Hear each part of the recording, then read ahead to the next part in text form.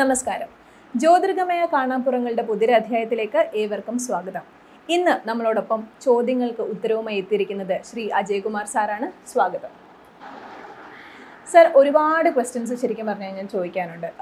തീർച്ചയായിട്ടും എനിക്ക് തോന്നുന്നു നമ്മുടെയൊക്കെ അപ്പൂപ്പനും അമ്മൂമ്മയും ഒക്കെ പറഞ്ഞു വെച്ചിട്ടുള്ള ഒരുപാട് കാര്യങ്ങൾ. പക്ഷേ ഇന്നത്തെ ജനറേഷൻ കുറേയൊക്കെ അത് സ്വീകരിക്കുന്നുണ്ട് കുറേയൊന്നും അത് സ്വീകരിക്കുന്നില്ല.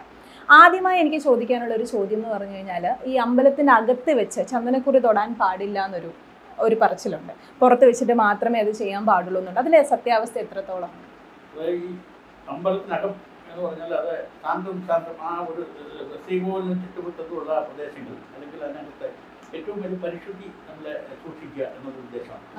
അപ്പം യാതൊരു തരത്തിലുള്ള ഒരു ഒരു പിന്നെ എന്താണ് പറഞ്ഞത്? ഒരു ഒരു സംഗതികളും അശുദ്ധയാകാൻ സാധ്യതയുള്ള ഒരു വസ്തുതയും അവിടെ അമ്പലത്തിനകം ക്ഷേത്രത്തിനകം ഉപയോഗിക്കാൻ പാടില്ല എന്നാണ് ക്ഷേത്രാചാരം പറയുന്നത്. ക്ഷേത്രം എന്ന് പറഞ്ഞാൽ തന്നെ ഈ ഏറ്റവും ദൈവം എന്ന് പറഞ്ഞാൽ പ്യൂരിറ്റി പരിശുദ്ധതയുടെ ഏറ്റവും വലിയ പ്രതീകം. അപ്പം അതിനകത്ത് അശുദ്ധി ആകാൻ സാധ്യതയുള്ള ഒരു കാര്യങ്ങളില്ല അപ്പോൾ പ്രസാദം എന്ന് പറയുമ്പോൾ തന്നെ അതിനകത്തെ തീർത്ഥമുണ്ട്. അപ്പോൾ ആ ജലതീർത്ഥം പുറത്തു വരും. പിന്നെ പ്രസാദത്തിന് പുഷ്പം തരും.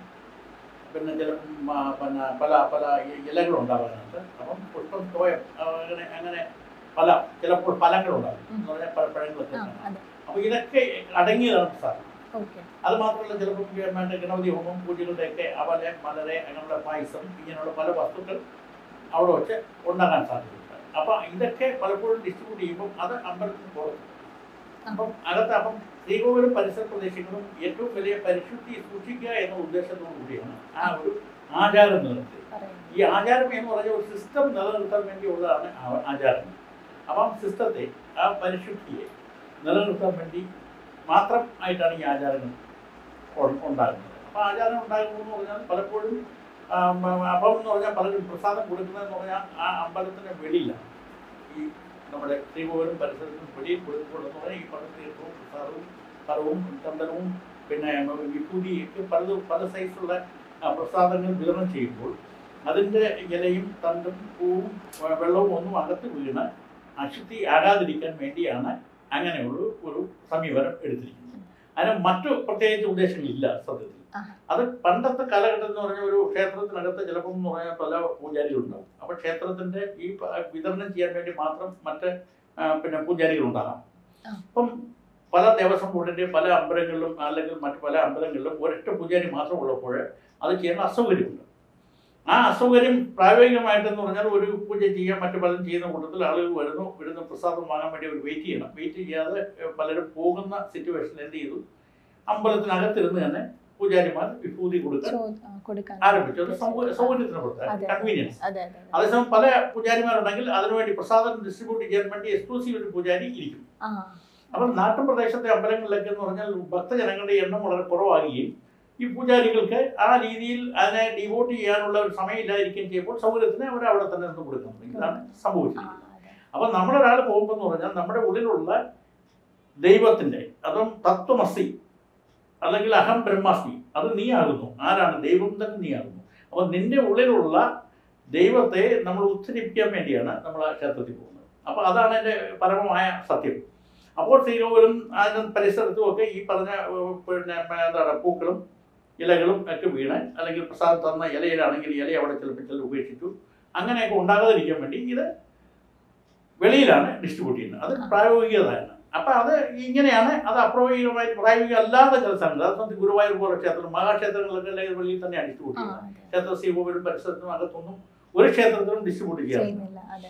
അപ്പോൾ അതിന് സൗകര്യമുണ്ട്. കാരണം കൂടുതൽ പൂജാരികളുണ്ട്. ഇത് ഡിസ്ട്രിബ്യൂട്ട് ചെയ്യാൻ വേണ്ടി തന്നെ ഒരാളിനെ എക്സ്ക്ലൂസീവായിട്ട് നിയോഗിച്ചിരിക്കുന്നു ആ നിയോഗിക്കാൻ കഴിയാത്ത സാഹചര്യത്തിൽ അകത്തൊന്ന് വാങ്ങിപ്പോയി വിചാരിച്ചാൽ അത് വലിയ വിഷയമല്ല. പക്ഷേ ഇത് ഉദ്ദേശം എന്ന് പറഞ്ഞാൽ ദൈവം ഉപയോഗിക്കുന്ന ഒന്നുമല്ല നമ്മുടെ അമ്പലവും പരിസര പ്രദേശങ്ങളും വൃത്തിയായി ഭംഗിയായി സൂക്ഷിക്കാൻ വേണ്ടി ഇതിന്റെ സൗകര്യം. ഇതെപ്പോഴും സൗകര്യം എന്ന് പറഞ്ഞാൽ ക്ഷേത്രത്തിൽ നിന്ന് പോകുന്ന വഴിക്ക് തീർത്ഥവും പ്രസാദവും കഴിച്ച് ചന്ദനക്കുടി ഇട്ട് വെളിയിലോട്ട് പോകുക അപ്പോൾ അതാണ് അല്ലാതെ അതിന് അതിനപ്പുറമായിട്ട് ബാക്കിയെല്ലാം അന്ധവിശ്വാസങ്ങളാണ്. അതങ്ങനെ ഇങ്ങനെ അപ്പുറത്തായാലും അകത്തായാലും അങ്ങനെയൊന്നുമില്ല ദൈവത്തെ സംബന്ധിച്ചൊന്നും ദൈവം ഒരു ചൈതന്യമാണ് ചേതനയാണ് അതിന് പ്രത്യേകിച്ച് ഇപ്പം പുറത്തോ അകത്തോ എന്നല്ല. ദൈവം എന്ന് പറഞ്ഞാൽ നമ്മൾ ഒരു എക്സാമ്പിൾ പറഞ്ഞാൽ ദൈവം എന്ന് പറഞ്ഞാൽ ഇലക്ട്രിസിറ്റി പോലെ ഇലക്ട്രിസിറ്റി ഒരു ഹീറ്റർ കയറിയ ചൂടാക്കി. ഒരു കൂളിങ്ങിലാണെങ്കിൽ അത് എയർ കണ്ടീഷനിലാണ് എ സിയിലാണെങ്കിൽ അത് തണുപ്പിക്കും. ചെയ്യും അപ്പൊ ശീതീകരണത്തിനും ഉഷ്ണീകരണത്തിനും രണ്ടിനും ഉപയോഗിക്കുന്ന എ സിയാണ് അല്ലെങ്കിൽ വായു പോലെ വായു എന്ന് പറഞ്ഞാൽ എങ്ങനെയാണ്? ഏത് അന്നോ കണ്ടെയ്ൻ ചെയ്യുന്നത്. ഒരു ബലൂണിൽ കയറിയ ബലൂൺ രൂപത്തിൽ വായു ചെയ്യും അതെ. അതേസമയം മറ്റൊരു ഒരു ഒരു പുലി ഇവിടെ രൂപത്തിലുള്ള സാധനത്തിൽ നമ്മൾ എയറടിച്ച് എന്ത് ചെയ്യും? ആ അതെ, രൂപം വരും രൂപമായി. അപ്പോൾ ഫുട്ബോളിലാണെങ്കിൽ ഫുട്ബോൾ പോലെ. അപ്പോൾ ഏത് കണ്ടെയ്ൻ ചെയ്യുന്ന പാത്രം? ഒരു നീണ്ട ബലൂൺ ആണെങ്കിൽ എങ്ങനെ ഇരിക്കും? നീണ്ട ബലൂൺ അപ്പോൾ എയർ എന്ന് പറഞ്ഞാൽ ഇതാണ് സംഭവം. നമ്മൾ എങ്ങനെയാണോ അത് കണ്ടെയ്ൻ ചെയ്യുന്നത്? കണ്ടെയ്നർ പോലെയാണ് അല്ലെങ്കിൽ ജലം പോലാണ്. ജലം എങ്ങനെ ചെയ്യുന്നത്? ജലം എന്ന് പറഞ്ഞാൽ ഇത് കണ്ടെയ്നർ എങ്ങനെയാണോ? കുപ്പിയിൽ. ഒഴിച്ചാൽ കുപ്പി ഷേപ്പിൽ വരും ജലമകത്ത്. ഗ്ലാസ്സിലാണെങ്കിൽ ഗ്ലാസ് ചരുവത്തിലാണെങ്കിൽ അല്ലെങ്കിൽ ഓരോ ഒരു പിന്നെ നമ്മൾ ഓരോ ഏതാണോ ഉൾക്കൊള്ളുന്നത്. ആ ഉൾക്കൊള്ളുന്നതിനെ ആ കണ്ടെയ്നർ അതുപോലാണ് ഈ ദൈവവും എന്ന് പറഞ്ഞാൽ. ദൈവത്തെ നമുക്ക് ഏത് രീതിയിൽ ഉൾക്കൊള്ളാൻ കഴിയും? അപ്പോൾ ഉൾക്കൊള്ളുന്ന ആളിന്റെ ഒരു മനോവീര്യവും മനോധൈര്യവും അനുസരിച്ച് കാര്യങ്ങൾ ഇരിക്കുകയാണ് അതിനെ ഒരു എന്ന് ഇന്നത്തെ കാലത്ത് ഒരുപാട് വിഷയങ്ങൾ നമ്മൾ തെറ്റിദ്ധാരണ ജനകമായിട്ട് ആളുകൾ പറഞ്ഞു വരുത്തി. അമ്പലത്തിനകത്ത് വെച്ച് നമ്മുടെ പ്രസാദം കിട്ടും നമുക്ക് ദോഷം കിട്ടും. അതിനൊന്നും ഒരു കാര്യമില്ല. വസ്തുത ഇതാണ്. പിന്നെ സൗകര്യപ്രദമായിട്ട് എന്ന് പറഞ്ഞാൽ ഈ രീതിയിൽ പല അമ്പലങ്ങളിലും മഹാക്ഷേത്രങ്ങളിലൊക്കെ എപ്പോഴും പ്രസാദം വെളിയിൽ തന്നെ അത് സൗകര്യത്തിന് വേണ്ടി ഒന്ന് അകത്ത് വെച്ചു കത്ത് കൊടുത്തു. അപ്പൊ എനിക്ക് പുള്ളിക്ക് ഓരോ ഈ പൂജാരിക്ക് എപ്പോഴും എപ്പോഴും ഓരോ പ്രത്യേകത്തിനും വേണ്ടി പുറത്ത് പോയി കൊടുക്കുക പിന്നെ തീർത്തുക എന്ന് പറഞ്ഞാൽ പറ്റില്ല എന്നുള്ളതിന്റെ എന്നുള്ള കാരണം കൊണ്ട് മാത്രമേ ഉള്ളൂ. അതിനൊന്നും വലിയ കാര്യം കാര്യം. പ്രസക്തം? അപ്പൊ വലിയ അതൊക്കെ അപ്രസക്തമാണ്. അതെ അതെ. മനസ്സിലായല്ലോ? മനസ്സിലായി. ജ്യോതിർഗമയ കാണാപ്പുറങ്ങളുടെ ഇന്നത്തെ അധ്യായം ഇവിടെ അവസാനിക്കുകയാണ്. പുതിയൊരു അധ്യായവുമായി നമുക്ക് വീണ്ടും കണ്ടുമുട്ടാം. നന്ദി നമസ്കാരം. നിങ്ങളുടെ വിലയേറിയ അഭിപ്രായങ്ങളും നിർദ്ദേശങ്ങളും സംശയങ്ങളും ഞങ്ങൾക്ക് മെയിൽ ചെയ്യാവുന്നതാണ്. Mail I D Jyothirgamaya Academy at Gmail dot com